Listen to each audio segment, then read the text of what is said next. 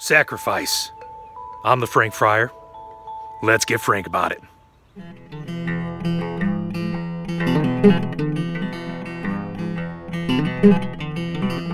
Thank you all for your time today, my brothers and sisters. If you like what I'm doing here, please make sure to subscribe to the channel and click that little bell icon and make sure that you don't miss out on anything new that I put up here on this channel. And also make sure, with all the things happening here on YouTube, that you're following me on social media. My Twitter handle is at Carmelite Nick, and my Facebook page is The Real Frank Friar. Follow these two things so you never miss out on all the different things I'm doing here on YouTube and my other social media platforms. Thank you very much. Have a good day. So, one of the important aspects to the Carmelite rule is the is the call to daily communion, to the daily celebration of the Eucharist in which we honor, celebrate, and remember the sacrifice of our Lord and Savior Jesus Christ. And He nourishes us with His very living presence, made known to us through the gift of the Eucharist. Now, Corpus Christi is about three weeks away, and I wanted to do a couple of videos on the Eucharist since this is such a foundational and important aspect to the Carmelite charism. You know, the liturgy has always been an important aspect to our lives as Carmelite friars from the beginning, since that part of the rule calls us to daily communion and the liturgy of the hours.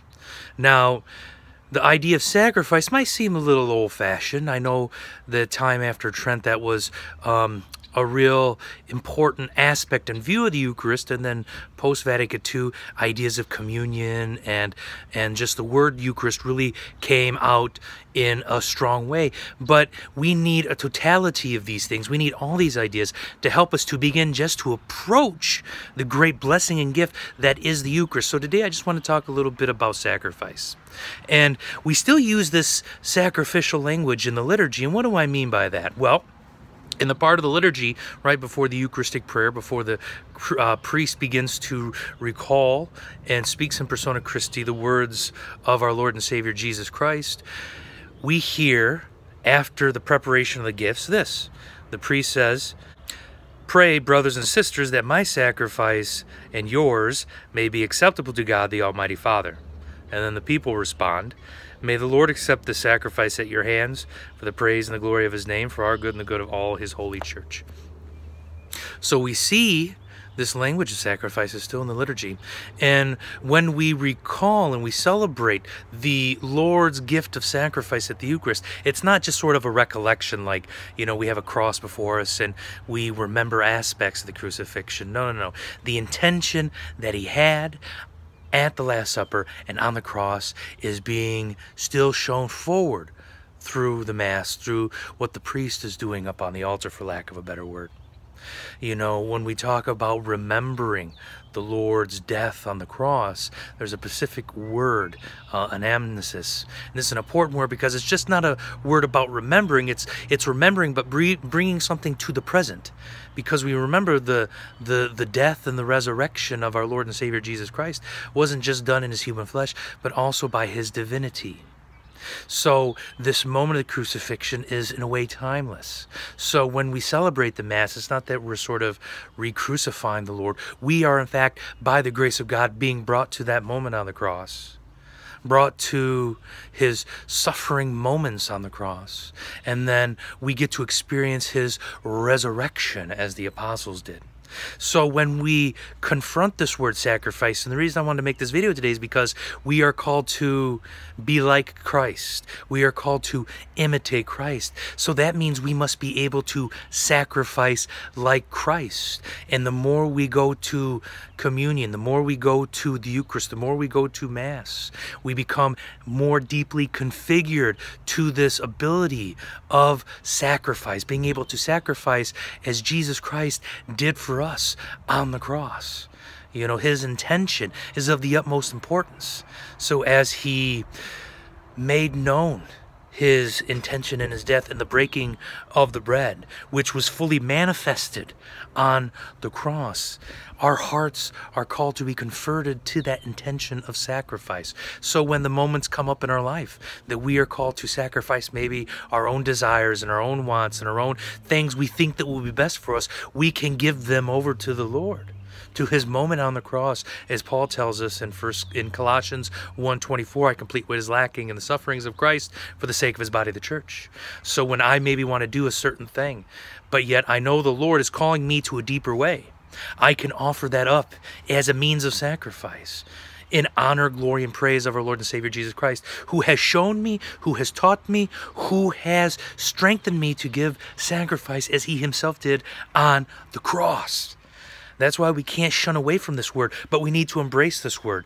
You know, I do a lot of vocational work for the province, and one of the things I see regularly throughout my work with the vocation office is this real struggle with young men being able to make a sacrifice, to give up times of their life in order to pursue more deeply the vocational call that they believe and feel within inside themselves that the Lord is calling them to.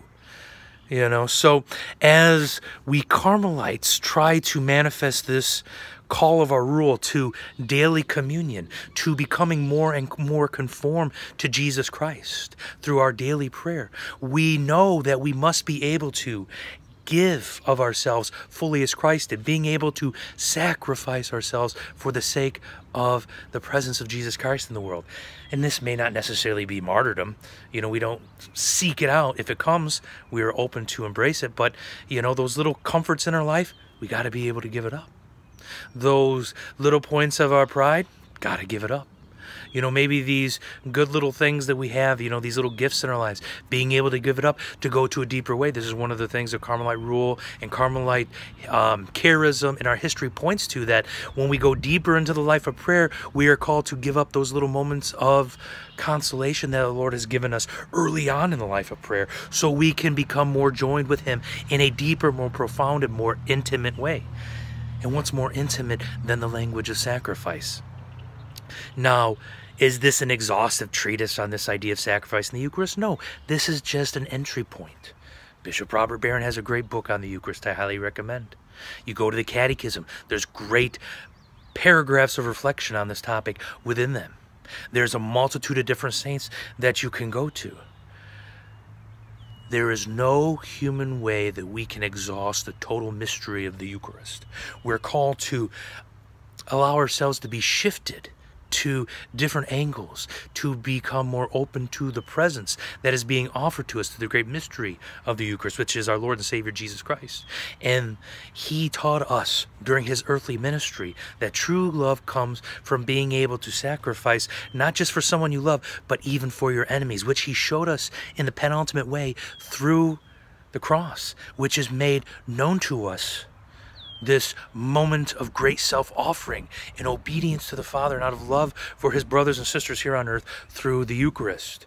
So, by just taking a moment to reflecting upon the idea of sacrifice and what does it mean for the Lord to have sacrificed himself, and what does it mean for us to be like the Lord and being open to those moments of sacrifice in our life, we grow in intimacy with the Lord, which the Feast of Corpus Christi is always inviting us into. So as we begin to prepare ourselves for that, becoming more open to the living presence of our Lord and Savior Jesus Christ, emboldened and strengthened by the Holy Spirit, because Pentecost is coming too, my brothers and sisters.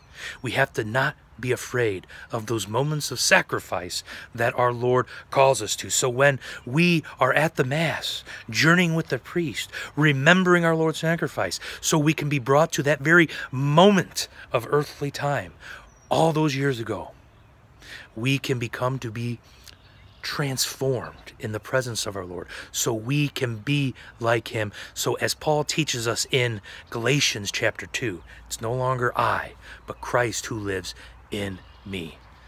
His words are meant to be our words also, my brothers and sisters, and that only happens when we are able to sacrifice our I for the sake of his thou. Thank you very much for your time today, my brothers and sisters. Know that I'm with you. Know that I'm praying for you and may God continue to bless you. In the name of the Father, the Son, and the Holy Spirit, amen.